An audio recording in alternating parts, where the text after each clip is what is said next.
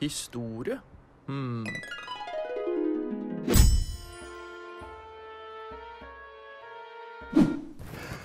Men det er ikke akkurat sånn det er. Fagene er varierte og spennende. Og det lærer deg å tenke kritisk og helhetlig om menneskehetens historie. Du lærer selvfølgelig om mange av de samme temaene som du lærte om på videregående. Men i tillegg så kan du studere om temaer om kriminalitet, du kan studere om eh, brettspillenes historie og hvorfor noen land er rike og noen land er fattige. Vi tilbyr også emner som gjør deg klar for yrkeslivet. Det ene er humanister i praksis, hvor det er mulig å komme ut i, i arbeidslivet. Og det andre er entreprenørskap for humanister. Når du begynner på historie til høsten, så får du tildelt en mentor sammen med andre studenter.